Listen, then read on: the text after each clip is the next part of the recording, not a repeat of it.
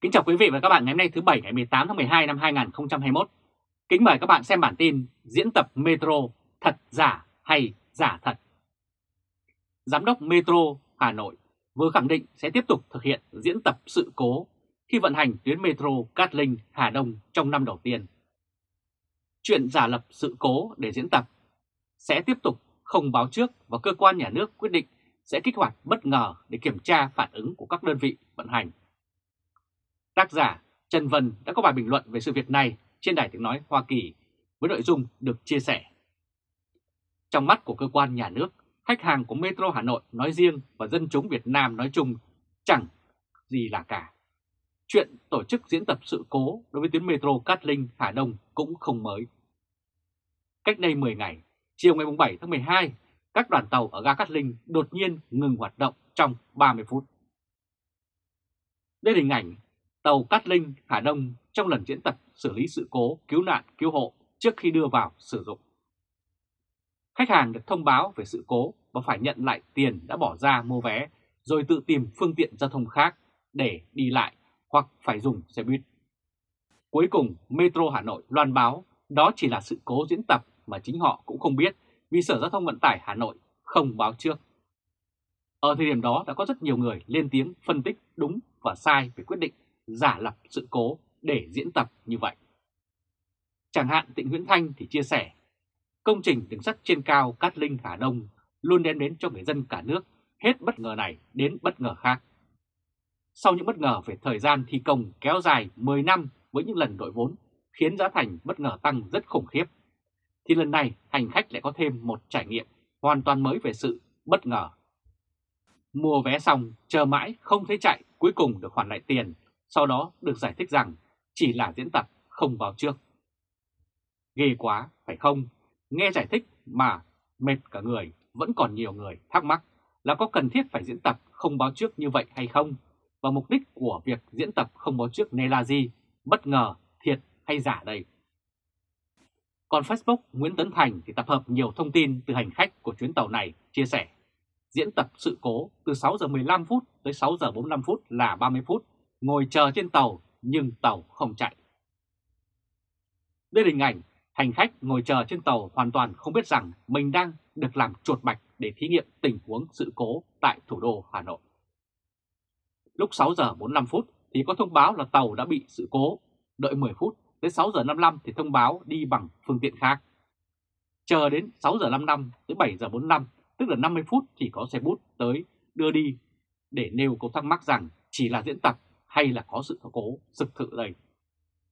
Nếu là diễn tập thì lại thêm một thất bại lớn. Và tại sao diễn tập mà bắt hành khách đợi đến 30 phút mới thông báo vì đợi 5 phút là đủ cho diễn tập rồi?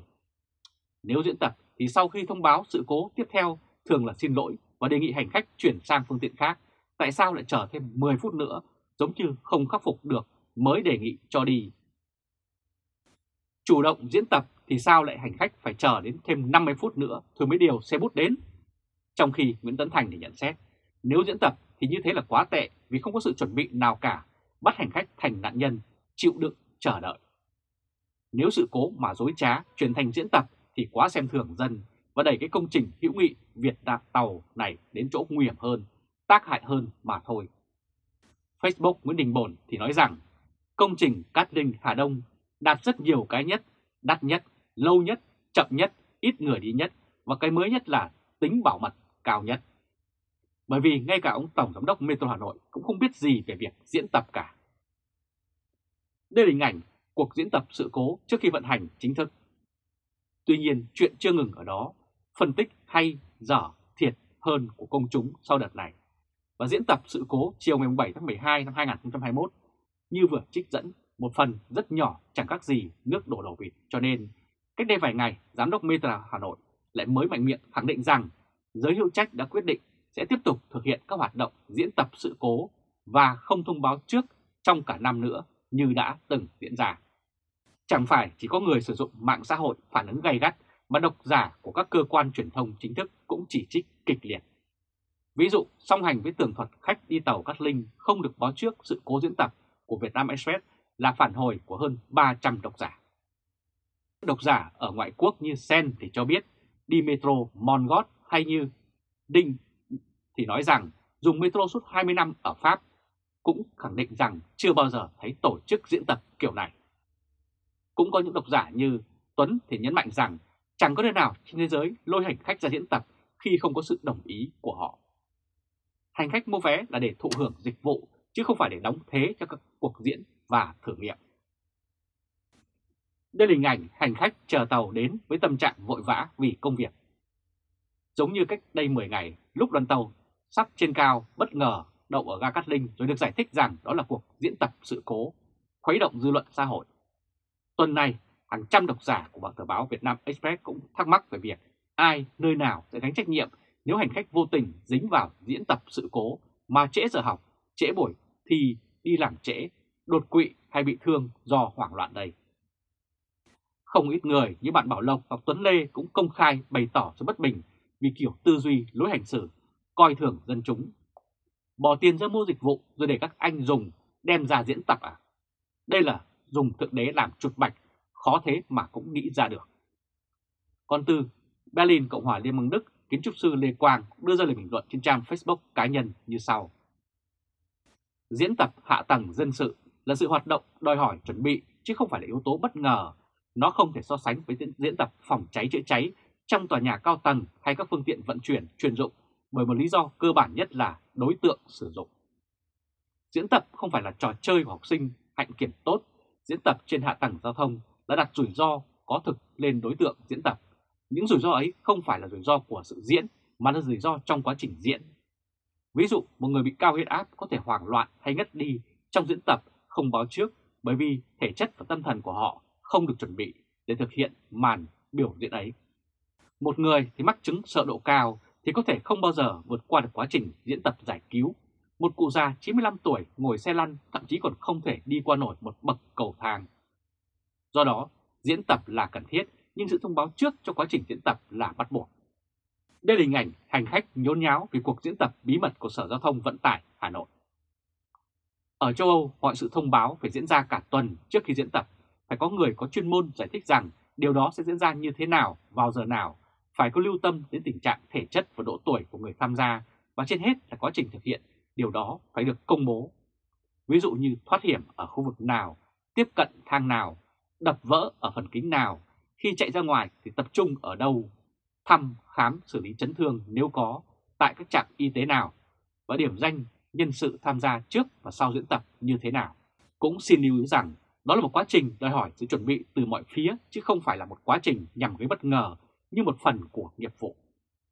Điều này thậm chí có thể diễn ra đơn giản hơn rất nhiều, ví dụ như có nhân viên trực trên tàu hàng ngày hướng dẫn khách một cách trực quan qua video như trên máy bay dân dụng chẳng hạn, chứ không phải là cứ đem tất thảy các đối tượng sử dụng ra để diễn.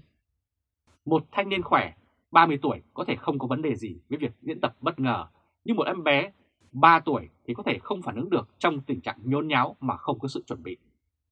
Việc tham gia phương tiện giao thông công cộng đối với đối tượng dân sự không bao giờ được coi là diễn tập nghiệp vụ, bởi vì ta không bao giờ biết được cá nhân ấy, tập thể ấy là những người như thế nào, năng lực vận động, thể chất, nghe, nhìn ra sao. Hiển nhiên rằng trước đó họ phải được thông báo và đăng ký tham gia. Ở nước ngoài, ngay cả một cuộc bãi công của nhân viên giao thông công cộng cũng phải được báo trước cả tuần lễ, chứ đừng nói gì đến sự diễn tập một tình huống. Tình huống ấy là gì? Phân loại nó ra sao? Cấp độ A, B, C, D Tất cả được thông báo và giải thích trước khi tới hiện trường và không có lý do gì để bỏ qua những bước ấy. Kính chào quý vị và các bạn ngày hôm nay thứ 6 ngày 17 tháng 12 năm 2021. Kính mời các bạn xem bản tin Tại sao Đảng sợ Phạm Đoan Trang. Như tờ Thời báo chấm đã đưa tin, Tòa Hà Nội đã đưa ra mức án cao hơn so với đề xuất của bên công tố. Điều này ít khi xảy ra vì các nguyên tắc nhân đạo của luật hình sự thường được các thẩm phán lưu ý Đặc biệt là án phạt chỉ tuyên thấp hơn đề xuất của bên công tố. Bởi lẽ công tố viên chủ trương hướng buộc tội nên bản thân tâm của họ đã có thành kiến với bị cáo, còn tòa thì tất nhiên phải có tâm thế trung dung nên họ thường lắng nghe cả hai phía và chọn mức độ trung bình giữa hai khuynh hướng. Nay hội đồng xét xử đã tuyên án nặng hơn cho thấy thái độ của Đảng muốn ra đòn thủ nặng hơn đối với nhà báo Phạm Đoan Trang vì sao lại như vậy. Giáo sư Ngô Duân Dụng lý giải sự việc này bằng bài bình luận với tựa đề Tại sao Đảng sợ Phạm Đoan Trang? với nội dung được ông chia sẻ. Cô Phạm Đoan Trang, 43 tuổi, đã bị tuyên án 9 năm tù vì tội tuyên truyền chống nhà nước theo luật hình sự của Đảng Cộng sản Việt Nam. Đây là hình ảnh bà Phạm Đoan Trang trong phiên tòa hôm 14 tháng 12 tại Hà Nội. Luật sư Đặng Đình Mạnh kể, có lúc tòa tạm ngưng, cô chàng quay lại, nhìn về phía người mẹ đang ngồi phía sau khoảng 5 mét. Bà Bùi Thị Thiện Căn, hơn 80 tuổi, đã nắm tay đưa một con tay cái lên, con là số 1. Có 5 luật sư bảo chữa cho Phạm Đoan Trang, các ông Đặng Đình Mạnh, Nguyễn Văn Miếng, Lê Văn Luân, Ngô Anh Tuấn và bà Phạm Lệ Quyên. Luật sư Mạnh nhận xét rằng, có lẽ chỉ có dòng máu anh thư chảy trong huyết quản của người mẹ Việt Nam mới có thể luân chuyển hôn đúc lên tinh thần kiên cường của một đoan trang mà chúng tôi phải ngả mũ từ rất xa. Phạm Đoan Trang đã sáng lập tạp chí Luật Khoa giúp người Việt Nam hiểu luật pháp để tự bảo vệ quyền lợi của mình.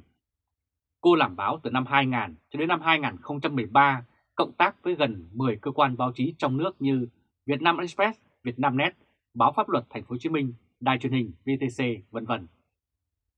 Năm 2014, cô qua Mỹ nhận học bổng nghiên cứu vật của tổ chức Villa Augona và Thư viện Fox Wagner tại Đại học Nam California. Vào năm 2015, Phạm Đoan Trang tham gia cuộc biểu tình ôn hòa, bảo vệ cây xanh và bị công an đánh gãy cả hai chân. Cô đã xuất bản những cuốn như Phản kháng phi bạo lực, Cẩm nang nuôi tù, Chính trị bình dân, tất cả hơn 10 tác phẩm đấu tranh. Cô bị bắt giam theo nhiều lần nữa. Và tại sao sau khi công tố viên đề nghị bản án từ 7 đến 8 năm tù, quan tòa lại tăng lên tới 9 năm tù đến như vậy? Đây là hình ảnh, bên phải là bà Phạm Đoan Trang công bố bản báo cáo đồng tâm. Hình bên trái là Trang phải đi nạn sau khi bị an ninh cộng sản chặn đánh gãy chân, đứt dây chẳng và phải giải phẫu cách đây vào năm 2016 và đến nay vết thương vẫn chưa lành. Vì Đảng Cộng sản đang sợ, đó là nhận xét của một tờ báo ở Berlin, nước Đức, và ngay lập tức khi loan tin bản án. Ông Dương Hồng Ân ở Đức đã giới thiệu tờ nhật báo TASS tường thuật phiên tòa với tiểu đề Tự do báo chí ở Việt Nam. Bài báo này viết với tờ đề 9 năm tù cho nhà báo nữ, tờ báo TASS giải thích. Chế độ độc tài đưa ra bản án quá nặng, chắc vì họ sợ. Nhờ bản tin này, độc giả biết được Việt Nam đứng hàng thứ 175 trong số 180 quốc gia trong bảng xếp hạng tự do báo chí của Tổ chức Phóng viên Không Biên Giới. Tại sao Đảng lại sợ Phạm Đoan Trang đến như vậy? Tờ báo TASS của Đức viết rằng họ sợ dân chúng ở các làng sẽ tiếp tục tranh đấu mạnh hơn. Một tháng trước khi bị bắt vào năm ngoái, cô Trang đã cùng với Vi Nguyễn ở Mỹ đã công bố hồ sơ về làng Đồng Tâm, ngoại ô Hà Nội. Dân làng phản đối chế độ Cộng sản đã tịch thu đất đai rồi bị đàn áp tàn nhẫn. Tờ báo TASS của Đức cũng ghi nhận hai người dân xã Đồng Tâm đã bị án tử hình, những người khác đã bị kết án tù nhiều năm. Báo TASS cũng loan những tin mà dân Việt Nam trong nước không hề biết vì không báo đài nào nói đến. Đó là ngày thứ hai trước phiên tòa tổ chức quốc tế theo dõi nhân quyền đã yêu cầu Đảng Cộng sản Việt Nam trả lại tự do cho Phạm Đoan Trang ngay lập tức. Tổ chức quốc tế kết tội Cộng sản Việt Nam đã vi phạm Công ước Quốc tế về quyền tự do mà họ đã ký kết vào năm 1982. Tờ báo TASS còn nhắc lại, vào năm 2017, Tổ chức Nhân quyền People Internet ở Cộng hòa Séc đã tặng cô Đoàn Trang giải thưởng với người Homoni Prize. Vào năm 2019, Tổ chức Phóng viên Không Biên Giới cũng tặng cô giải tự do báo chí. Đây là hình ảnh bất chấp sự đàn áp của chính quyền Đảng Cộng sản Việt Nam nhà báo Phạm Đoan Trang cùng nhà xuất bản Tự Do đã cho ra đời hàng loạt đầu sách có nội dung cổ suý cho dân chủ và nhân quyền cho Việt Nam. Trung tâm PEN ở Đức cũng tuyên dương Phạm Đoan Trang là thành viên danh dự và yêu cầu nhà nước Cộng sản Việt Nam phải trả lại tự do cho cô. Giáo sư Nguyễn Quang A cho thấy một lý do khác khiến Đảng Cộng sản Việt Nam sợ Phạm Đoan Trang như sau.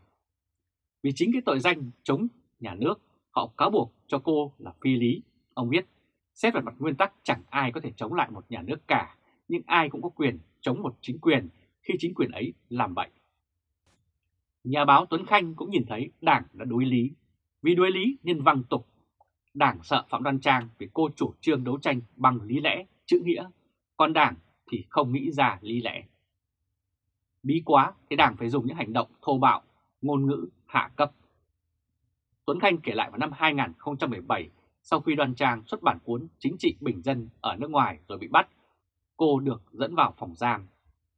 Sau khi cô hỏi đi hỏi lại tại sao lại bỏ tù cô, không ai trả lời được một câu. Thay vì nói tôi chỉ làm theo lệnh trên, một anh công an trẻ chỉ tay vào mặt cô và quát lên. Những câu thô bỉ, đó là thứ lý lẽ, chữ nghĩa quen thuộc của Đảng Cộng sản. Bản án 9 năm tù chính là thứ ngôn ngữ thô bỉ của những kẻ vô học khi bị đối lý. Nguyễn Quang Nga thấy bản án 9 năm tù giống như vậy, và chỉ những kẻ yếu mới dùng đến những biện pháp đàn áp thô bạo đến thế. Nhưng ông cũng thấy hậu quả là chỉ khiến nhiều người quyết tâm hơn. Hơn nữa, nhiều người nhìn thấy hành động phi pháp của chính quyền và như thế thực sự rất có hại cho chính quyền. Một ngày sau khi bản án của cô Phạm Đoan Trang, nhà phản kháng Trịnh Bá Phương và bà Nguyễn Thị Tâm cũng bị kết án tù 10 năm và 6 năm. Đây là hình ảnh ông Trịnh Bá Phương và bà Nguyễn Thị Tâm. Bà Tâm góp mặt như một phụ nữ đòi dân chủ và tự do cùng với Lê Thị Công Nhân, Tạ Phong Tần, Huỳnh Thục Vi, Nguyễn Ngọc Như Quỳnh vân vân. Có lẽ Đảng Cộng sản Việt Nam sợ các phụ nữ đấu tranh nhiều hơn nam giới, vì khi họ lên tiếng nói thì ảnh hưởng sẽ mạnh hơn rất nhiều. Những nhà lãnh đạo đầu tiên đòi độc lập cho dân tộc Việt Nam khi đó là các bà, bà Trưng, bà Triệu. Quân Hán, quân Ngô đã đánh bại các bà, nhưng lịch sử thì mãi mãi ghi danh các vị nữ anh hùng.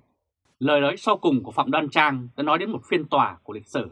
Cô nói, các anh, các chị có thể bỏ tù tôi và Hà Hê đắc thắng vì đã xóa bỏ một cái gai trong mắt của các anh các chị nhiều năm nay.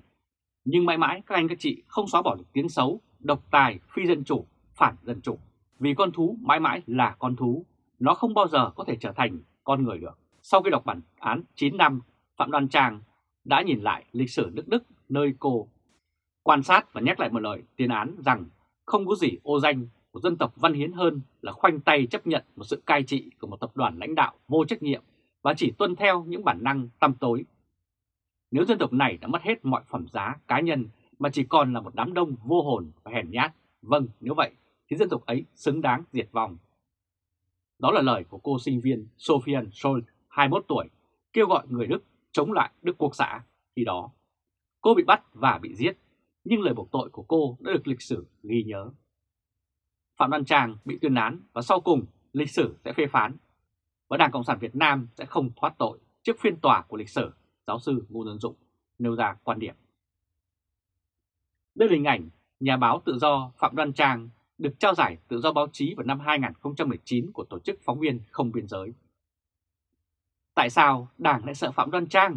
Có lẽ đó chính là tâm thế nhất quán và kiên cường của cô, từ trước cũng như quá trình bị giam giữ trong tù. Phần nào đã được luật lại thuật lại trên trang Facebook của luật sư Ngô Anh Tuấn như sau. Trong suốt quá trình làm việc, bà Trang không hợp tác, không khai nhận và chưa từng nhận tội. Thế nên nếu clip nhận tội được tung ra dưới bất kỳ hình thức nào thì đó có nghĩa là bị cắt ghép, không đúng sự thật. Bà Trang đã từng bị biệt giam nhưng sau đó được giam chung với những thưởng phạm khác. Cuộc sống trong trại giam rất khắc nghiệt, bà đã phải đánh nhau 7 lần, nhưng bà vui vẻ kể rằng mình đều là người giành chiến thắng dù là người yếu thế hơn.